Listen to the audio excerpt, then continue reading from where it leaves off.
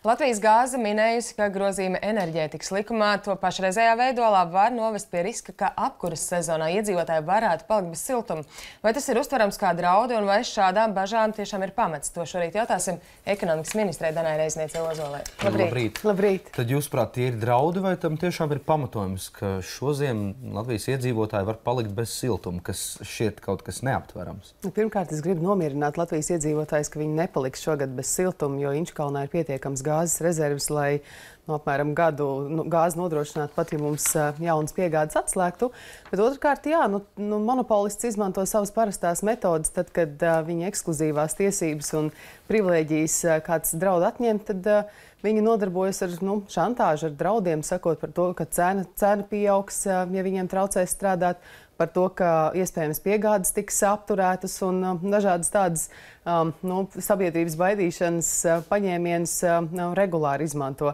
Un tas ir viens no iemesliem, kādēļ, manuprāt, mēs nedrīkstam arī vilcināties ar gāzes tirgus atvēršanu, lai nebūtu nu, šādas šantāžas iespējas un nu, lai mūsu iedzīvotāji varētu būt droši par to, ka gāzē um, būs un būs uh, vienmēr un nepārtraukti, un ka tā būs par labākām cenām nekā šobrīd Gazprom to piedāvā. Bet tad šie uh, Latvijas gāzes apgalvojumi, tātad, kā mm. atverot tirgu ar pašreizēju to paredzēto regulējumu, vasarā neviens neveiks gāzes uzkrājumus Inčkalna gāzes krātuvē un samazinot uzglabāšanas apjomus, arī pieaugšot pakalpojumu cenu, tie ir nepamatoti, jūs prāt? Tie ir nepamatoti, jo mums šobrīd ir arī likumā jau paredzēts arī pārvades operatoram nodrošināt, ka sistēma stabili strādā.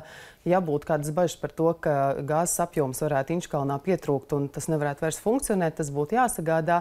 Bet eh, tajā brīdī, kad būs arī iespēja citiem piegādāt eh, gāzi, tad eh, noteikti arī būs interese par Inčkalnu izmantošanu atbilstoši tirgus likumiem, jo kā tirgus strādā.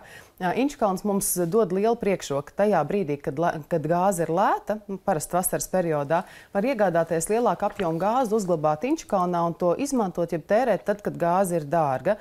Tad, kad ir monopola stāvoklis, gāzi to nu, praktiski neizmanto kā tādu cenas regulēšanas mehānismu.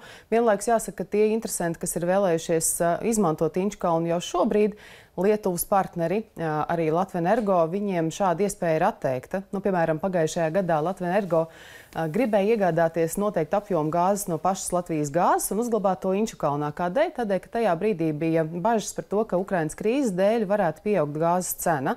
Un viņi vēlējās iegādāties lētāku gāzi, noglabāt katram gadījumam. Latvijas gāzes šādu iespēju Latvijas energo nedēvē, aizbildinoties ar, ar dažādiem iemesliem, kāpēc to nevar izdarīt. Lietuvas kolēģi arī stāstīja, ka šī gada pavasarī viņi arī vēlējās noteikti noteiktu apjomu gāzes uzglabāt. Atkal jau Latvijas gāze izvēlējās šādu iespēju nedot, atrodot kādu aizbildinājumu par tehniskiem ierobežojumiem. Mums kolēģi de facto gan jautāja Latvijas gāzes pārstāvjiem par šo konkrēto gadījumu.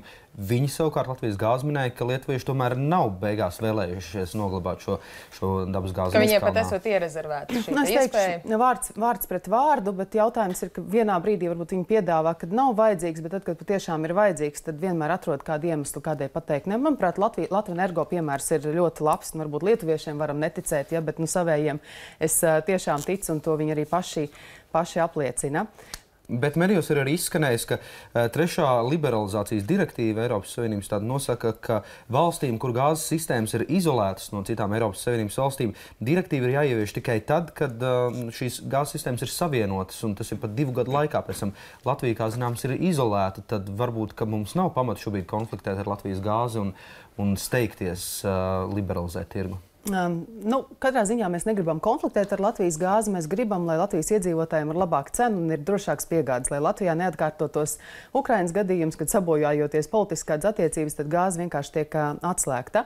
Bet uh, par direktīvas izņēmumu statusu Latvija bija izolēta un tādēļ Latvijai bija, bija uh, īpašs stāvoklis, ja tā sauktā derogācija līdz 2017. gada 3. aprīlim, kad beidzas privatizācijas līgums. Mums nav, uh, nebija spiestā kārtā tirgus jāatver. Tieši tā, tā iemesla dēļ, ka nebija praktiski savienojumi ar citām valstīm, kas nav Lietuva, Igaunija un Somija.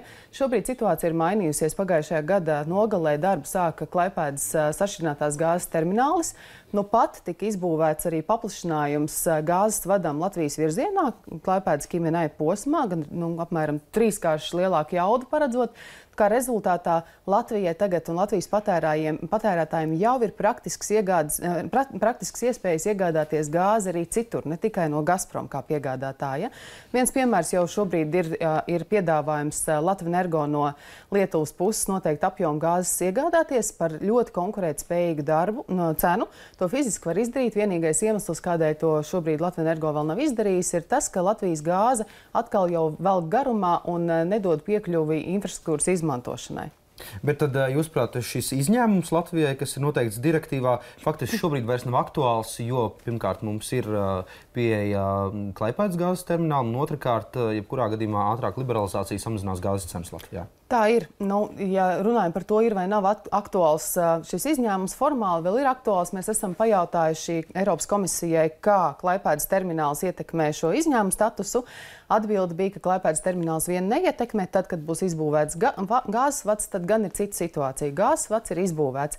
Šobrīd tas, ko mēs darām, mēs tieši nejautājam Eiropas komisijai, lai nedabūtu tiešu negatīvu atbildi un mums nebūtu jāveic tirgus atvēršana vēl īsākos un saspringtākos, es teiktu, pat nereālos terminos termiņos. Um, Eiropas komisija arī ļoti seko līdz tam, kā mēs šobrīd uh, strādājam ar tirgus atvēršanu. Nu, es uh, esmu ciešā kontaktā ar viņiem, informēju par, par datumiem, par to, kā mums sokas, kā mums uh, uh veicās ar likumu pieņemšanu ministru kabinetā un kā tagad uh, uh, saimā uh, nu, tas tiek virzīts.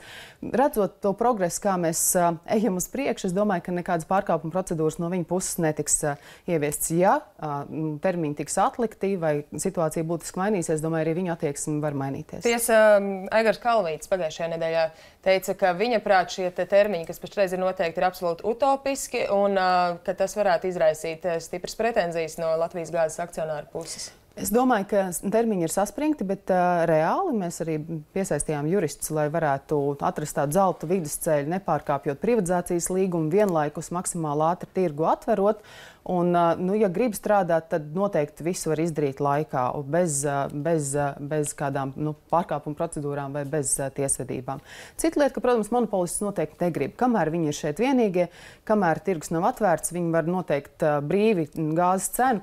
Gāzes cena mums ir viena no augstākajām Eiropā. Arī šobrīd mēs maksājam apmēram 10% dārgāk par gāzi nekā gāzi varētu iegādāties biržā. Mm -hmm. Kā jūs vērtējat šos Gazprom plānus izbūvēt gāzes pārvadu Nord Stream 2? Nu, es jau esmu arī uh, Eiropas uh, partneriem teikusi, ka, manuprāt, uh, nav konsekvences mūsu politiskajā darbībā. Ar labo roku mēs rakstām er enerģētikas savienības stratēģiju, ar kreiso roku būvējam Nord Stream 2, kas uh, nu, nekādi neliecina par Eiropas spēju atbildīgos brīžos būt solidāriem. Nu, un, uh, Es kritiski vērtēju šo projektu. Kā jūs domājat, vai šis projekts tomēr tiks realizēts? Kā zināms, Vācijā Vācijas uzņēmēji tomēr ļoti iestājas par to, lai projekts tiktu realizēts. Uzņēmēji ir interesēti, politiķi ir piesardzīgi. Domāju, ka noteikti zināmas grūtības būs. Grūti prognozēt, tiks vai netiks realizēts, bet nu, katrā ziņā es priecātos, ja tas nenotiks. Vai šī pašreizējā situācija neliecina par tādu Eiropas divkosību?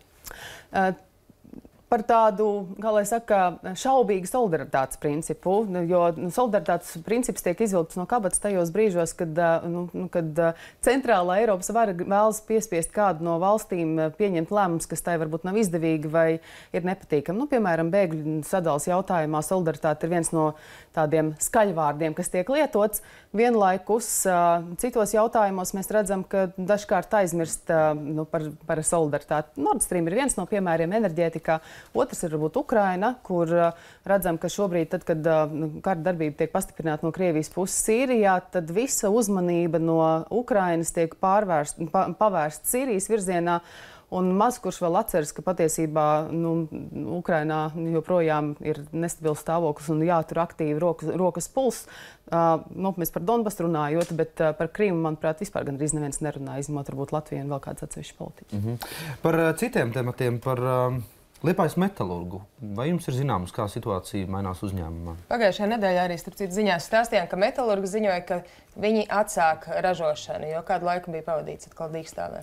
Jā, metālurgs bija apstādinājis savu ražošanu, tad tagad atkal ir uzsākuši, jo ir uzlabojusies uh, izēju materiālu cena. Valdība no savas puses ir metālurgu šobrīd informējusi par tiem pasākumiem, ko mēs uh, varam no savas puses piedāvāt dažādos jautājumos. Un es domāju, ka tas šobrīd ir uzņēmuma paša kompetencē vērtēt, vai viņiem ar to pietiek savas uzņēmējdarbības nodrošināšanai, kāda ir viņa attīstības plāni. Zinu, ka viņi nu, domā par kādām jaunām idejām, jaunu produktu ieviešanu ražošanā, bet jāsaprot, ka tas viss ir arī, protams, sarežģīti un ar esošām iekārtām iespējams apgrūtināti. Viena no tām metālurga prasībām bija, lai valdība atbalsta viņus tajā jautājumā, ka tiek samazināts šīs izmaksas par elektroenerģiju. Mēs esam viņiem skaidrojuši, jo dažādas, dažādas vēlmes bija gan naktas tarifu stundas pagarināt, gan iegādāties elektroenerģiju no citiem. Viņi jau to var darīt. Nu, jautājums ir, ka tās prasības ir lielākas nekā fiziskās iespējas. Vienlaikus mēs esam apstiprinājuši valdībā lielo uzņēmumu atbalsta mehānismu obligātās iepirkuma komponentes samazināšanai.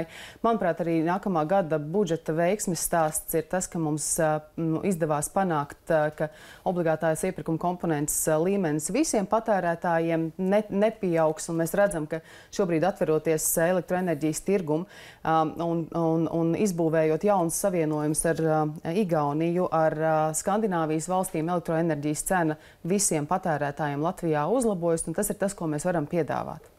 Mm -hmm. Un vēl uh, sarunas noslēgumā par uh, Latvijas ekonomisko situāciju kopumā. Gads iet uz beigām. Uh, Gaistās vai prognozes būs piepildījušās par uh, par tautsēmniecības izaugsmu kopumā. Piemēram, eksporta rādītāji kopējie nav nemaz tik iepriecinoši. Šodien dienas biznesa raksta, ka augusts pret augustu šī gada tomēr ir eksporta kritums par 3,7%. Es teiktu, ka kopumā jā, jāņem vērā, ka, ņemo, ka šajā brīdī, kad mums dažu mēnešu laikā ir strauji krities eksports Krievijas virzienā, gan sankciju dēļ, gan arī ekonomiskās situācijas dēļ Krievijā, eksports ir krities par apmēram 20% tad kopējo eksporta rādītājs no 8 mēnešu griezumā pat ir pieaudzis nu, apmēram 3%, 3% nu, apmērā, kas, manuprāt, ir ļoti labs rādītājs. Tas nozīmē, ka uzņēmumi ir spējuši lielā mērā pārorientēt savu eksportu uz citām valstīm. Tie, kas ir bijuši eksporta spējīgi, tie arī ir nu, daļai kompensējuši zaudējumus austrumu virzienā. Kas ir interesanti, ka pieauga ne tikai nu, nedaudz pieauga Eiropas Savienības tirgus e, eksports, bet pieauga eksports eksports uz trešām valstīm, nu, piemēram, eksports uz Ķīnu kaut gan no neliela apjoma, bet ir, ir gandrīz dubultojies. Mm -hmm. Un tad kopējās prognozes par šo gadu un nākamo gadu vai izskatās, ka tās varēs uzlabot? Kopējās prognozes ir diezgan labas. Bija plānots, ka šogad būs 2% uh, iekšzemes koprodukta pieaugums. Tas arī tiks sasniegts. Manuprāt, pat būs nedaudz vairāk. Nākamā gada prognoze ir 3%. Ļoti tas ir optimistisks. Tas ir viens no, viens no augstākajiem rādītājiem Eiropas Savienībā. Kas ļauj prognozēt tik optimistisku izaugsmu? Gan iekšējā patēriņa pieaugums, gan arī uh, mūsu uzņēmēja spēja palielināt eksportu. Vai jūs, kā ekonomikas un... ministrs, esat pārliecināti, ka, teiksim, janvārī vai februārī nenāksies pārskatīt šo prognozi? Šogad nācās pārskatīt. Šogad nācās pārskatīt, bet uh, pārskatīju uz leju, un mēs redzam, ka gada rādītājs tomēr būs labāks nekā piesardzīgā prognoze. Un es domāju, ka 3% nākamajam gadam ir arī, arī reāli, jo mēs redzam, ka Latvija ir maza atvērta tautsēmniecība.